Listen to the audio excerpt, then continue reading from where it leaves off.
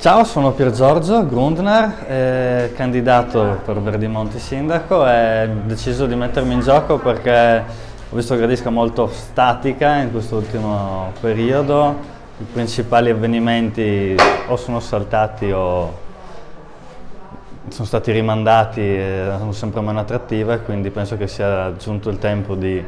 far diciamo, risvegliare un po' Gradisca perché sta diventando veramente un posto bello ma sempre più fermo e stanco, quindi è giunto il momento di darsi una svegliata.